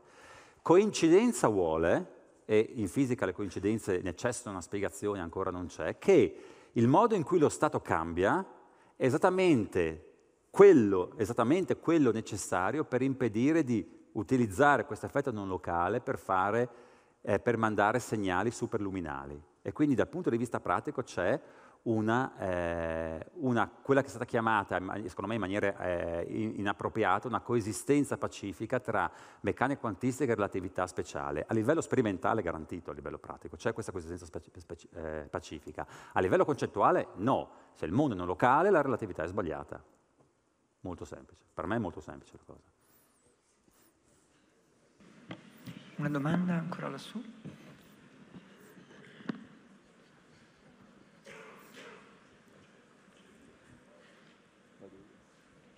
Vado io? Volevo chiedere cosa, cosa comporta nel futuro questa scoperta, cioè cosa potrebbe portare a livello scientifico, e livello La non località. Sì, questa allora, la non località ha già portato a dei risultati tecnologici, vogliamo parlare di risultati tecnologici, risultati pratici, che è garantire per esempio la sicurezza nelle comunicazioni. Questi fenomeni, questo, questo comportamento quantistico uno, uno, degli effetti queste, è di questo tipo, che si può garantire comunicazioni ultra sicure. Poi la non località non è tanto, la, la non località è il risultato dell'entanglement e l'entanglement è uno degli ingredienti base anche nella computazione quantistica. La computazione quantistica ha un vantaggio rispetto alla computazione classica perché gli stati quantistici possono essere di questo tipo entangled. Allora è chiaro che nel computer quantistico uno, fa, uno tipicamente non fa computer qui più computer là, e quindi se il computer qui fa una cosa, il computer là fa un'altra cosa, non, queste cose non si fanno. Però il, il, funzionamento interno di un computer quantistico sfrutta questi stati entangled che sono gli stessi che sono alla base della non località. Quindi le ricadute tecnologiche ci sono già, è chiaro che non, è che non, è, non sono ancora sul cellulare che si vedono e si usano quotidianamente, c'è ancora, sono in questa fase di trasferimento tecnologico dal mondo della ricerca al mondo industriale. Eh, un'altra domanda, forse c'era Lì? Ti faccio difficoltà a vedere. Qua. Grazie. Buonasera. A me non è chiaro come è stato preparato l'esperimento fisicamente. Siamo sicuri che l'esperimento non è stato preparato in maniera non locale e poi viene misurato in maniera non locale? Allora, qui abbiamo un, collega Inrim qua che spero che non, non, mi, non mi, picchi a sangue se non do, la risposta errata, che è più competente di me, ma tipicamente, eh, allora, a meno, che, a meno, che, uno non invochi teorie cospirazioniste, come si dicono in italiano, cospiratorie, te, teorie cospiratorie in cui tutto è predeterminato all'inizio, quindi togliendo questi casi che sono patologici, eh, fisicamente, filosoficamente e forse saremo d'accordo anche psicologicamente, saremo d'accordo. No, l'esperimento è preparato localmente, viene fatto tipicamente con non solo, ma tipicamente con i fotoni. Due fotoni vengono creati qui, inviati là, vabbè, pace, come sono, sono, come le due palline sono, sono qui e poi non, non faccio vedere quello che c'è e poi le porto là. Le due misure sono locali, una qui e solo qui, una qua e solo qua. Ciò nonostante le correlazioni quantistiche sono diverse da quelle classiche. Quindi non c'è, non c'è un qualche qualcosa di non locale nella, nella, nell'atto della misura, no? E poi ci sono vari tecnicismi che sono stati quelli che vengono chiamati loophole, cioè, qual è la traduzione italiana di loophole? Scorciatoia, delle scappatoie che sono state via via escluse, erano proprio dei casi anche quelli un po' patologici, ma lo stesso la comunità li ha presi seriamente e li ha esclusi sperimentalmente. Quindi in questo senso non c'è nessun trucco, c'è la non località. No, ma io non intendevo parlare di trucchi. Eh. No, no, ma nel senso trucco di, nel senso popolare. Nel, no, nel, nel, senso che la misura effettuata su un sistema perturba anche la misura sull'altro. Ha garantito questo, la non località. La misura fatta qui perturba il sistema qua. Certo, però la misura fatta qui è fatta qui. Ma sì, perché ho preparato lo stato prima, l'ho proiettato su un, su un autovalore che poi ovviamente cioè, no. lo preparo prima in quel no. modo lì. Lo stato l'hai preparato in uno stato entangled, che non è autostato, delle, se, se parlo in termini, mi pare di capire che conosciamo un po' la matematica, abbiamo preparato lo stato in uno stato entangled che non è autostato delle, delle, de, con autovalore definito delle osservabili che vado a misurare. Misuro qui, determino l'osservabile, automaticamente viene determinato anche là. Prima lo stato non aveva valore, l'osservabile non aveva valore definito qua è l'entanglement. Lo stato entangle è proprio di quel tipo, lo entangle è tale che l'osservabile non ha valori definiti qui, l'osservabile di riferimento non ha valori definiti né qui né là, prima della misura. Misuro qui, lo definisce anche qua. C'è anche una domanda lì, vicino, dietro. Grazie. Eh, eh sì, eh, no, no, no. no, sì, no, giusto se capivo bene. Se tu li prepari definiti alla fonte, puoi farlo, in meccanica quantistica puoi farlo questo. Li prepari definiti alla fonte, è come uno stato classico, non sono quelli che ho considerato. La meccanica quantistica permette di fare altre cose, sono quelle di cui stavo parlando. Io avrei una domanda. Eh, come si fa a sapere che il valore non è predefinito? No, non è. Allora, eh, oddio, adesso qua, aspetta, vediamo. Questa è l'assunzione della teoria, eh, che il valore non è predefinito.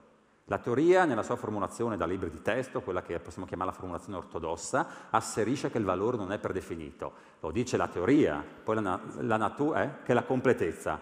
Poi la natura fa quello che vuole, ah, potrebbe essere generalmente la natura fa quello che vuole. Es- esattamente come le palline gialle e rosse.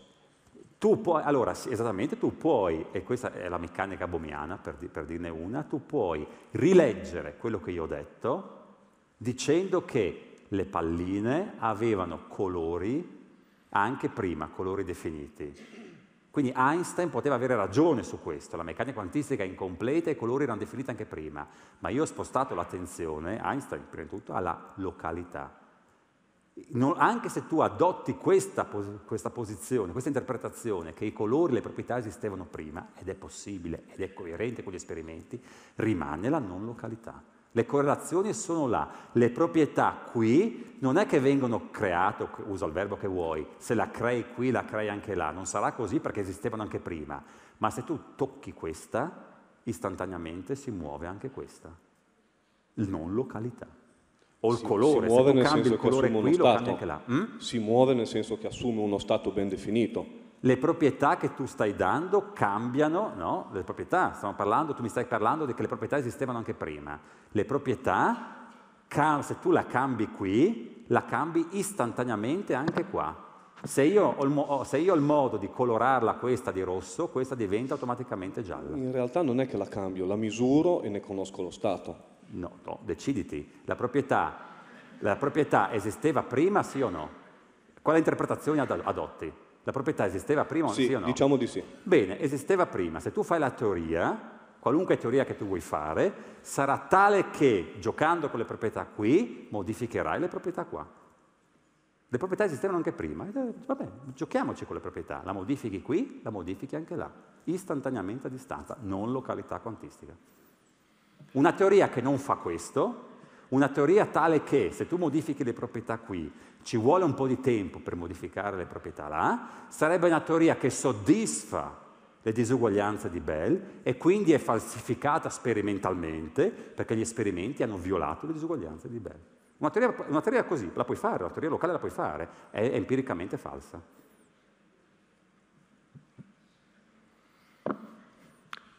Ci, no, qui, da, qui davanti. Ah. Una domanda per il professor Laudisa, buonasera a tutti. Eh, io sono più per il campo letterario, quindi esco un pochino dal seminato. Eh, ricordando filosofia mi viene in mente Dilte con Filosofia delle Scienze, eh, i primi trattati di letteratura con Dante, la Questione di Acqua e Terra, uno tra i primissimi nella prima letteratura del 200, ma attualmente di fisica, di meccanica quantistica, filosoficamente, anche in campo letterario, perché perché comunque è trasversale, chi se ne sta occupando proprio dal punto di vista di trattatistica? Cioè se uno volesse andarsi a leggere un saggio, attualmente chi se ne sta occupando? Eh. Ah, dunque, eh, allora, se ne occupano un sacco di gente. Eh, allora, il, il lavoro che, che, si fa nel campo filosofico su queste cose è eh, legato in larghissima misura diciamo, alla, eh, all'analisi di queste diverse interpretazioni. Quindi mh, per questo io ho sottolineato questa circostanza per cui diciamo, l'evidenza sperimentale, eh, salvo appunto le, le, le, vicende che sappiamo, però l'evidenza sperimentale non seleziona in modo naturale una interpretazione sulle altre, non lì sarebbe facile perché c'è l'esperimento cruciale o, o qualcosa del genere, ci dice quella è sbagliata e quella è... Questo non succede. Quindi la, la discussione in questo senso diventa in maniera rilevante filosofica, si sposta sui criteri per cui dovremmo preferire una interpretazione rispetto all'altra. anche in filologia, se uno volesse interpretare un manoscritto deve prima andarsi a vedere gli antecedenti, si fa uno stemma codicum per cui si confronta un Mm. manoscritto 1, 2, 3, 4, poi si incrociano, alla fine esce un manoscritto che vada comunque a riprendere le teorie più o meno, le postulati degli altri, però andando a incrociare tutto, tutto l'insieme, chi è che, cioè per chi si vuole avvicinare a questa disciplina, chi magari dal punto di vista filosofico, letterario, che alla fine è interdisciplinare. Ora, sono un po' in difficoltà con l'aggettivo letterario, Eh onestamente. no, Cioè, letterario nel eh, senso, cioè c'è una, una letteratura, delle letture, letterariamente nel senso che si va a leggere una saggistica che si va a leggere, nel senso come lettura. No, appunto, quel- quella a cui facevo riferimento, che è quello che mi viene da, da- da indicare, è una letteratura che eh, appunto per una parte consistente eh, si confronta con diversi modi di interpretare quella stessa struttura teorica no? che- di cui un esempio appunto ci ha dato il professor Bassi, cioè le correlazioni quantistiche sono un, un- un fatto con una ricaduta empirica molto chiara, eh, in- indiscutibile. no? La cosa complicata è cercare di comprendere il significato complessivo, il significato in termini di cosa c'è là nel mondo, come è fatto il mondo là fuori, se deve rispettare queste correlazioni. Allora, ci sono vari modi di concepire cosa vuol dire interpretare. No? Allora, un, una- un modo è eh, prendo queste correlazioni così come sono, no? in un certo senso paradossalmente una interpretazione è non interpretarle. Eh, I filosofi amano molto queste cose perché dicono eh, questa è anch'essa un'interpretazione, perché scegliere non interpretare è un'interpretazione anche questa, però diciamo, una possibilità è questa. Dobbiamo accettare questo fatto come un fatto di natura, punto, e questo mi basta. Altri dicono no, questo è, è- è troppo poco per una, una scienza che, che- che ha- che si rispetti, quindi voglio capire meglio come è fatto il mondo che genera questo tipo di comportamenti. E allora mi devo interrogare cosa vuol dire costruire un'immagine del mondo con certe proprietà e quello è, è un compito tradizionalmente di carattere filosofico, cioè i filosofi hanno nel tempo immaginato una serie di soluzioni a questo tipo di problemi concettuali e, e i filosofi contemporanei vanno a cercare in questo armamentario de- delle indicazioni eh, su- su- su- utili per costruire un'immagine che renda questi, questi fatti sperimentali un po' più comprensibili. Ecco, questo in larga misura è quello che fanno i filosofi della fisica quantistica, poi naturalmente c'è tutta la, la- dose di, di- di specializzazione che, che vale anche per questo campo come tutti, però questo è, è un po' eh, quello, cioè quando mh, appunto An- Angelo Basso su questo siamo da- d'accordo, cioè quando la, la- una parte consistente della fisica diciamo, pensa che o, o non, ha- non vuole ritenere la- l'ambito interpretativo parte della scienza stessa, cioè solo come al limite un capriccio, ma non parte della missione della scienza, ecco questo alcuni lo, lo mettono in discussione, cioè oltre a essere un, un- un compito divertente dal punto di vista concettuale, cioè impegnativo, sfidante, è anche parte della scienza ed è sempre stato così prima, non si capisce perché con la meccanica quantistica deve smettere di essere. Ancora qualche domanda perché si sta facendo un po' tardi, quindi qui da, se possibile breve. Sì, ecco qua, grazie. Spero Innanzitutto sia breve. Eh, volevo capire meglio, quando noi misuriamo lo stato di un sistema in entanglement, posso sapere se ho misurato lo stato dopo che, è avvenuta- do- do- dopo che è avvenuto il collasso, cioè se è già stato causato da una- dal sistema accoppiato o se in quel momento c'è stato poi il- l'altro collasso. Puoi riformulare la domanda, scusami? Nel momento in cui io misuro lo stato di un sistema, due sistemi in entanglement, se io ne misuro uno e quindi automaticamente sto facendo anche collassare l'altro, giusto? Quando ho misurato, posso sapere se quello che ho misurato era già stato definito prima, cioè se non è più in sovrapposizione o se in quel momento ho causato il collasso. Allora, tu hai due, due particelle correlate, tu mi dici misuro una e vuoi sapere se erano... Se già qualcuno aveva misurato l'altro. Eh, lo puoi sapere nel senso che tu, allora, devi sapere, nel senso che tu fai le... Eh, allora, innanzitutto si parla sempre in termini statistici, si parla, quindi non basta un esperimento, devi fare la statistica degli esperimenti. Se tu fai mille esperimenti in cui uno ti ha preceduto prima, per così dire, senza che tu te ne accorgi, se tu fai le misure di correlazione sono diverse da quelle che avresti se non ci fosse stata la misura. Quindi te ne puoi accorgere in tal senso.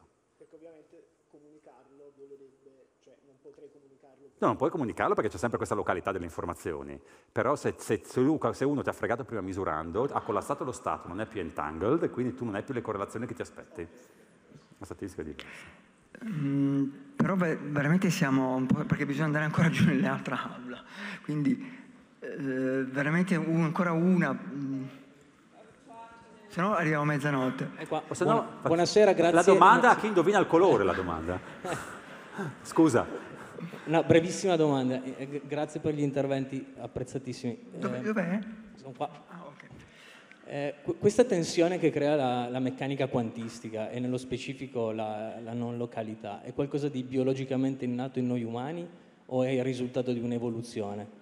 Cioè l'abbiamo sempre persa questa proprietà di non località, cioè non ce l'abbiamo mai avuta, l'abbiamo persa con la nostra evoluzione. È un qualcosa che... È... Biologia quantistica. No, questa è più per Federico direi, no? Come domanda.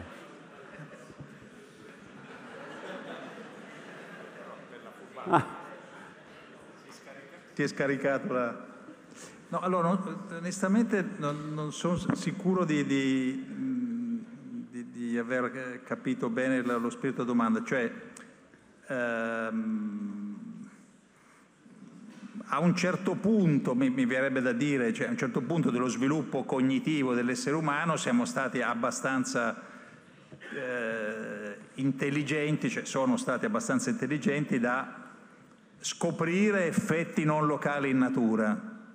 No? E, e, e questo relativamente a una teoria che al di là dei dubbi sulla sua fondamentalità o no, però è una teoria che mh, copre un ambito di fenomeni enorme eh, però eh, il, dire, il, dominio di applicazione della teoria è molto diverso da quello in cui noi ci poniamo problemi su che cosa siamo riusciti evolutivamente a comprendere, quindi è una scala ma, molto ma... lontana, quindi no, non riesco bene a, a, metterle vicine, a collegarle in modo da dare una risposta. Ma, ecco, non so se... Federico, volevo tradurre questa cosa, eh? l'ha detta anche Bell. Se l'entanglement esisteva prima della nascita di un PhD. Eh sì. no? Sì, sì, è, è, è così, è così. Allora, eh, solo che davvero non, non, riusciamo più perché devono andare a... Allora, se voi state ancora qui, se non so, potete sentire anche le domande dell'altra aula.